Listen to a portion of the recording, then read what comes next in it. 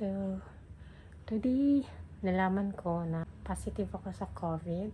Sinaman ako ng pakiramdam. Para akong nilalagnat na medyo uh, nag-chills. Nung nakahiga ako, para ako may shortness of breathing. Though hindi naman super, mild lang. So, uh, nag-decide ako na mag self-test kit in order for me to have a peace of mind. Kasi nga, parang sabi ko, kakaiba yung nafe-feel ko, kakaiba yung lagnat. Kaya, yun, nag, nag-test ako and eto siya.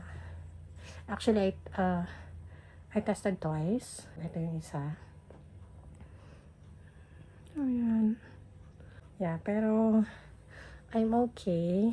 Galing ako ng clinic. Nagpa nagpa uh, PCR test din ako to make sure. And yeah, actually si Harry is uh, negative siya praise God. Pero si DJ, um, hindi pa namin actually malaman. Kasi yung unang test kay DJ, um, si DJ is um, positive. Tapos, yung second niya is negative siya. Tapos, yung third, thin line for the positive. So, um, to make sure, dinala siya ni Harry sa another clinic na nagkakonduct ng uh, swab test PCR for 0 to 6 years old. So, tomorrow malalaman namin ni DJ yung ano, yung results. Uh, pero, everything is fine. I can breathe okay. Nagmamask ako sa loob para to contain. So, ayun. Ginagawa ko is constant washing of hands. Inon din namin yung UV namin. And I still pump. Kasi nagbasa-basa ako, nag-research ako na actually it's very good kasi yung body ko is nag ano siya ng mga antibodies for COVID. So it's very good na you continue um, breastfeeding. So for my case I'm pumping. I just make sure that I wash my hands properly. And yung mga hinawakan ko I'm, I just make sure na isa-sanitize ko muna siya. So yun. Um syempre kayang-kaya to kasi the Lord is with us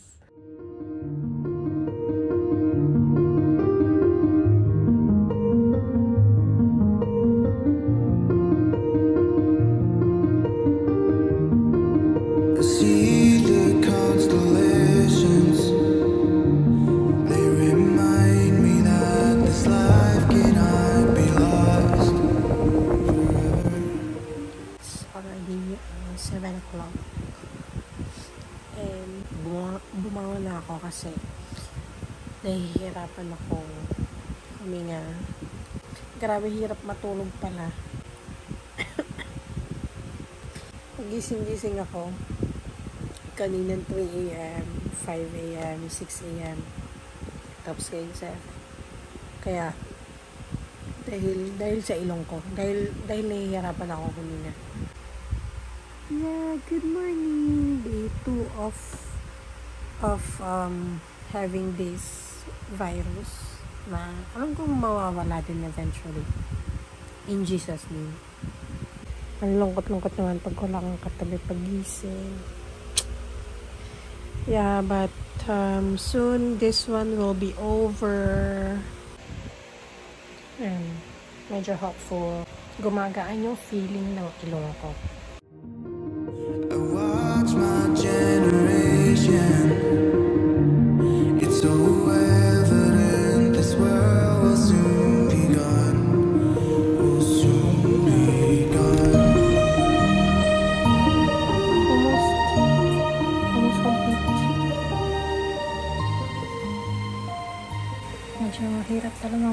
kasi barado yung ilong ko tapos nakamask pa ako pero kailangan talaga magmask pag nagpapump ako. Syempre for protection. So ayun. Pero yes it's uh, 10.26 a.m. and tumawag yung MOH sa akin Ministry of Health.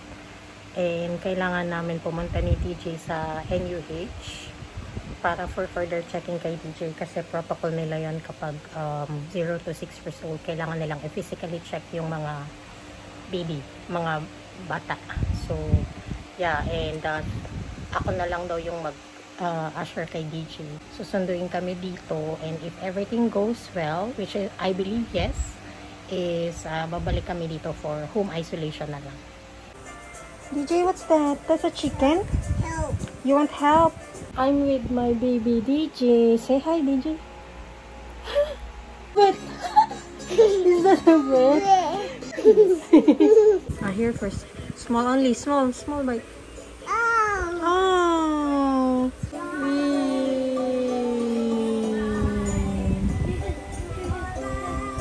Wee.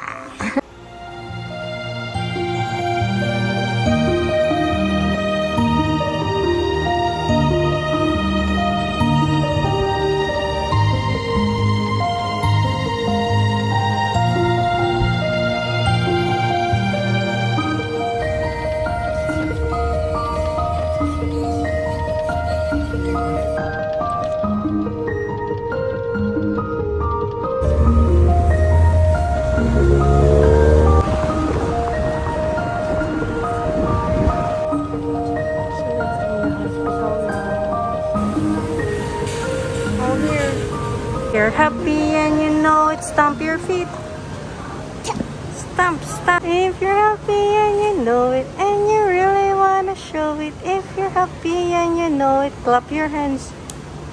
If you're happy and you know it, say hooray. if you're happy and you know it, turn around. if you're happy, happy and you know it, and you really wanna show it. If you're happy and you know it, turn around.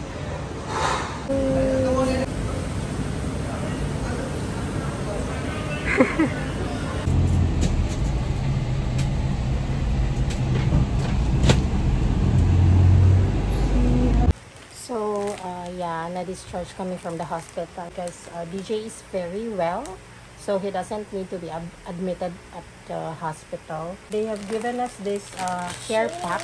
Ang laman niya is um, sanitizer, may oximeter, may medicloth, and maraming plastic bag. I think it's for posables namin.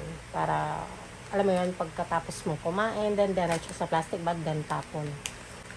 Si DJ is very well. Wala siyang fever. Wala siyang ano, kahit ano. Thank God, praise God, kasi everything is well for DJ. constellations.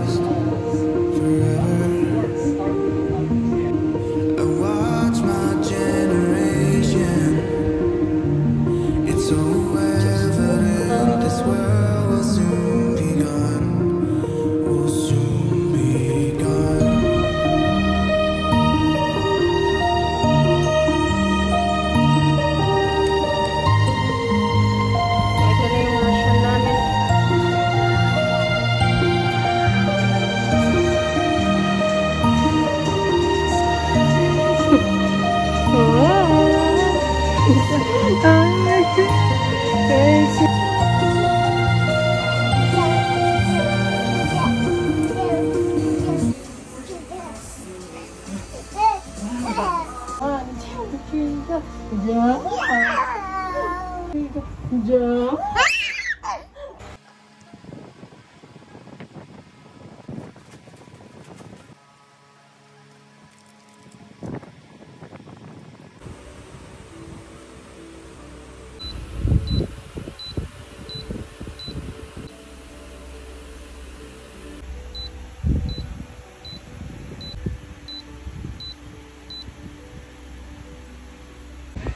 Can you check mommy's temperature?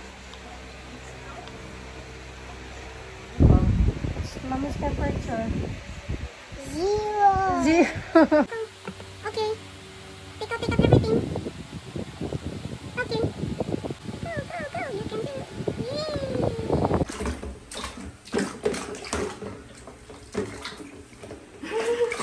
oh, stop. Yeah. Dear Jesus, thank you for this food that we're about to eat. Continue to bless us, Lord. Continue to heal DJ and heal Mommy, Lord God. We will be virus-free soon, Lord, in Jesus' name. And Lord, thank you for the our housemates, Lord God, for our daddy, for our tita that is negative in COVID, Panginoon. Always cover them, Lord God. Lahat po ng mga housemates namin ah, na healthy po sila and virus-free, Lord God. We love you, Lord. We bless you. In Jesus' mighty name we pray. Amen.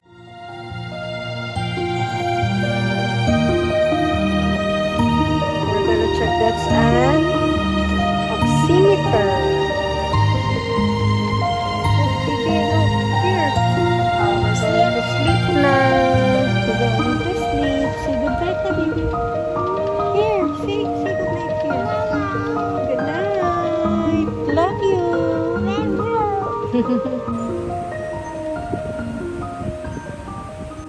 one, ayun, medyo patinalamunan ko. Si DJ, as usual, wala pa din naman kahit anong symptoms. Ayun, tulog pa siya. So, susulitin ko na. Magpapak na ko habang tulog pa yung boss ko.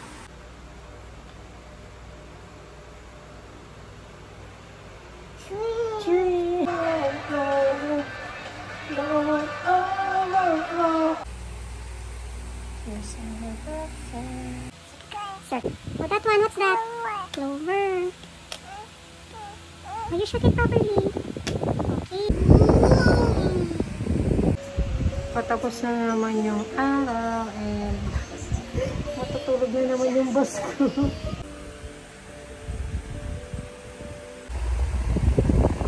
na. Oh, what's your name? Say your name. David. David. Saya. Josiah. Keke. Recto. Enrique. It's 7.24 a.m. na. So, nawalan ako ng panlasa nung kagabi. So, yung ulam namin, hindi talaga siya malasahan. Para lang siyang tubig. Ganun yung, ano yung pakaramdam ko. Pero as per DJ, yung temperature niya, yung oxygen level niya, and everything, masigla as usual, sobrang kulit. So, praise God kasi, yun nga, um, walang kahit anong symptoms si DJ. So, ako na lang talaga, recover, recover na lang. Tapos, nag, sa swab test naman si, sila tita, uh, negative, praise God, silang dalaw na yung hari, even though they are taking care of us.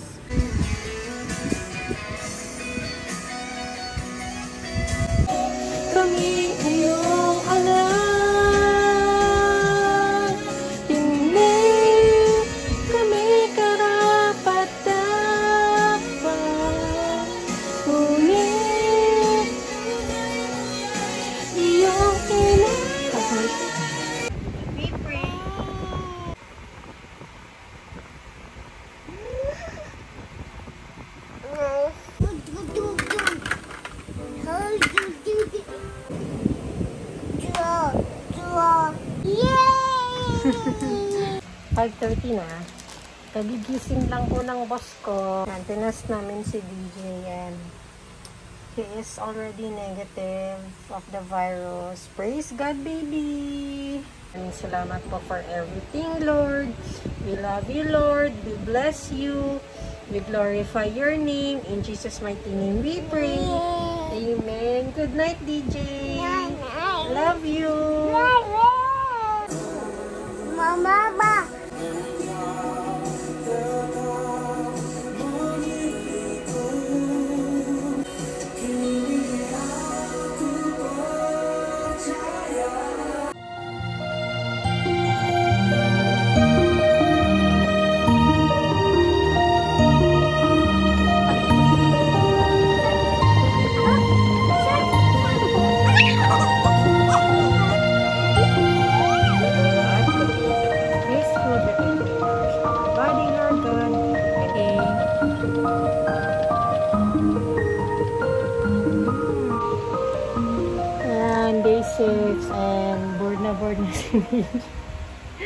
Nandyan siya, sumisilip siya sa window for fresh air. So, we tested DJ again. Try. Thank God, he's Try. negative. So, Try. it's my turn.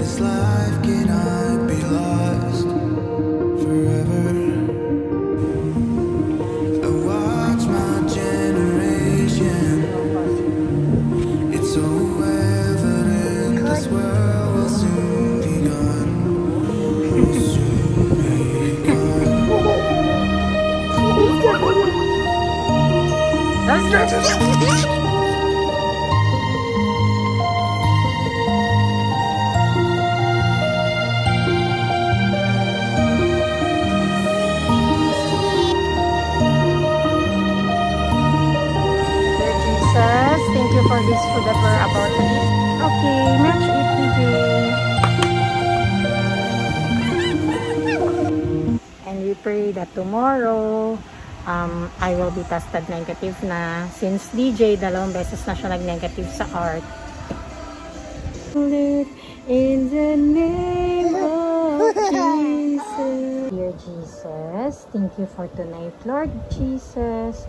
Thank you for keeping us safe and continue to protect each and every one of us, Lord God, uh, including baby DJ, Panginoon, Mommy, Lord Jesus, Daddy, Lord Jesus, Tita, Lord Jesus.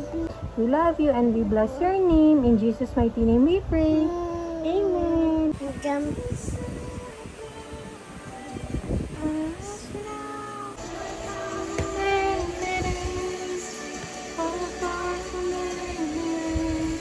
Okay, it's um the last day of our isolation order. Uh, later I'm gonna I'm gonna check my COVID. I hope it's already negative. And yes, makakalaya na kami ni DJ though if positive pa siguro I will take uh, extra pre- precaution. Praise God. We are both well. And ito, kitang-kita nyo naman, sobrang kulit. Sit down now. Yes. This is the day that the Lord has made. See the constellations. They remind me that this life cannot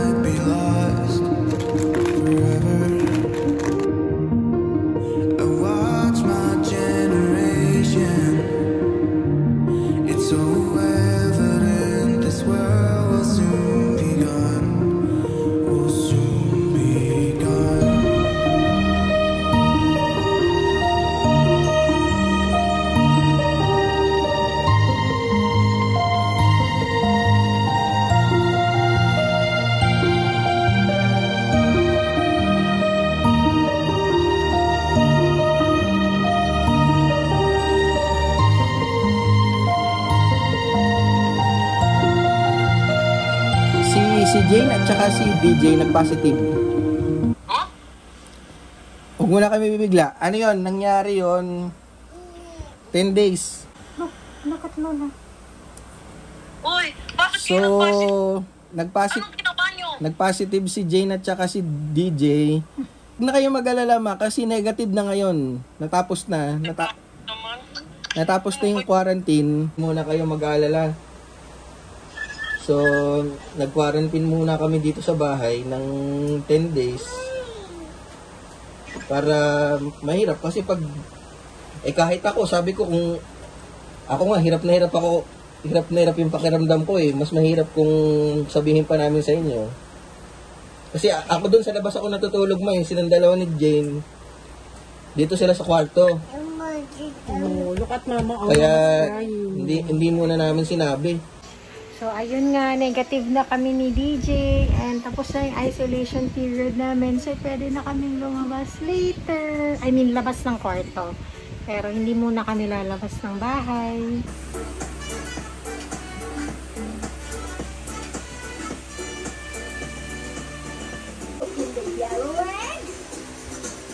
This happened to us. Hindi namin inaasahan na mangyayari sa amin to. Parang sabi namin before, "Hmm, sobrang ingat namin. Parang always wear mask, ganyan-ganyan. Pero yung dumating yung part ng si DJ yung nag-positive. Ang hirap. Parang pumasok na lahat yung takot and all, yung worries. syempre as a as a parent uh, especially as a mother hindi mo talaga maiiwasan na um, kabahan and um, syempre mag-isip pag sarili ko lang parang it's okay I can handle it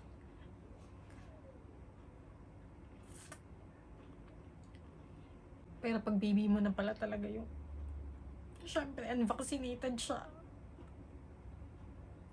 Kaya ano, alam mo yan, yung you try to be strong for yourself. Pero syempre, hindi mawawala yung worry ko na COVID is on the inside, diba? Yung parang lungs, which is hindi mo siya nakikita. Pero, um, hindi ko alam. Merong peace sa heart ko talaga. Kapag nag-worry ako, parang may may nagsasabi sa akin na no, it's it's gonna be fine. You just have to trust the Lord na um, dito mas mapapatanayan ni Lord kung sino siya sa buhay namin. And we, we went na sa clinic, PCR test si DJ.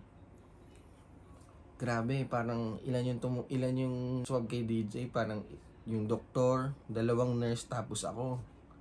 So parang habang sinaswab si DJ, talagang grabe yung wala niya. Yung swab kasi loob na loob talaga. So sinaswab si DJ, umiyak din ako kasi sabi ko, talagang helpless ako eh na gusto ko nang i-stop no, nung doktor yung swab. Kasi parang nasasaktan na siya eh.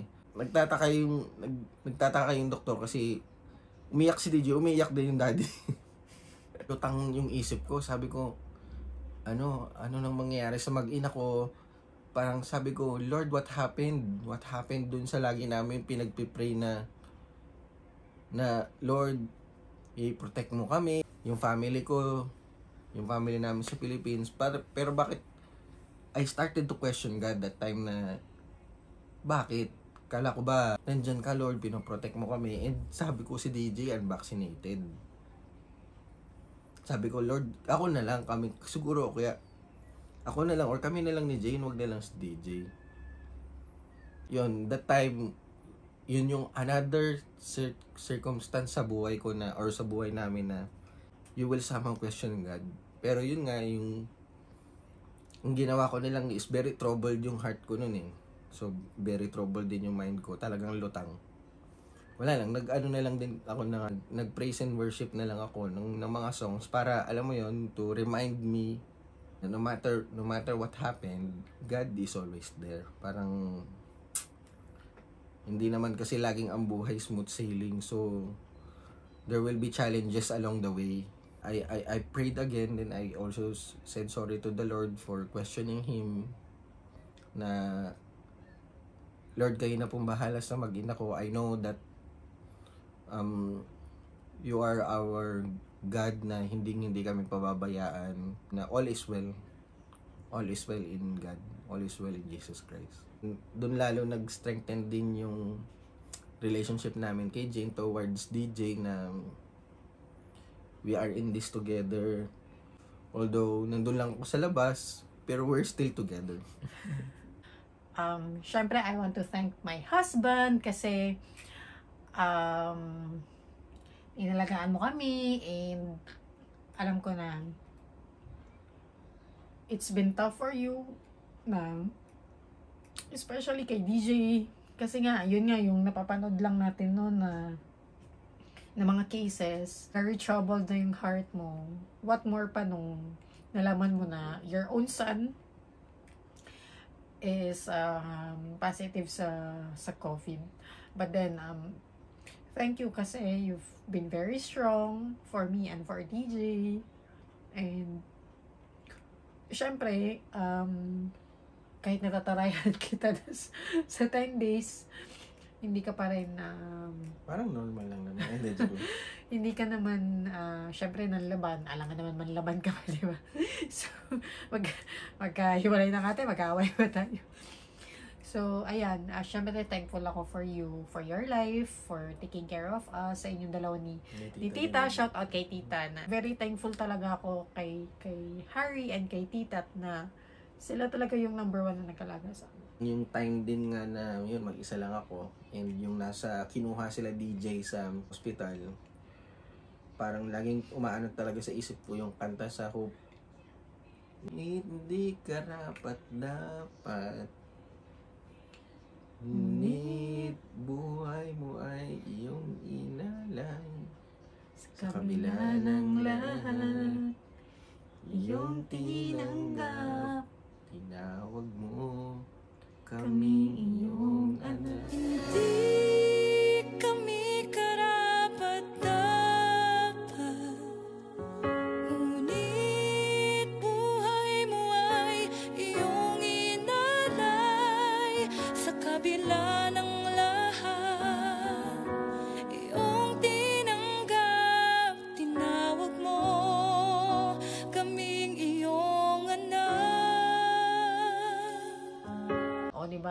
ba? Na-promote pa yung ano, Hope Filipino Worship.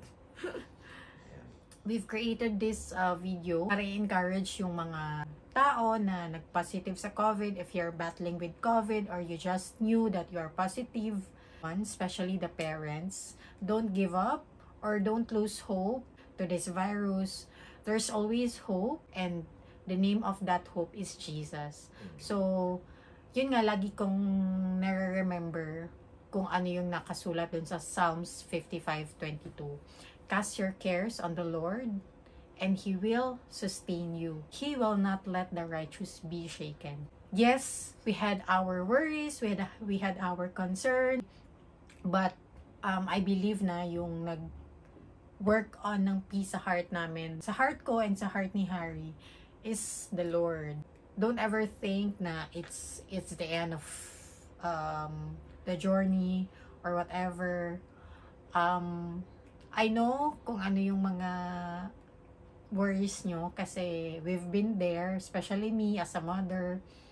But um, one thing is for sure, the Lord will never allow this circumstance to happen nang wala lang. There's always a reason kung bakit inaalaw ni God. COVID is not from Him. But uh, there are times na we need to undergo some testing in order to strengthen our faith with Him. So, I believe in that uh, 10 days, our faith has been uh, renewed and uh, it's stronger than before. praise God na yun nga yung kinakatakot ko is si God yung nagbigay sa amin ng peace of mind, peace peace in our hearts na there's nothing to worry because God is in control. To God be the glory talaga sa healing. He is uh, our great doctor. He is our great provider. He is our hope. Amen. Thank you everyone and I hope um, this story will be his story.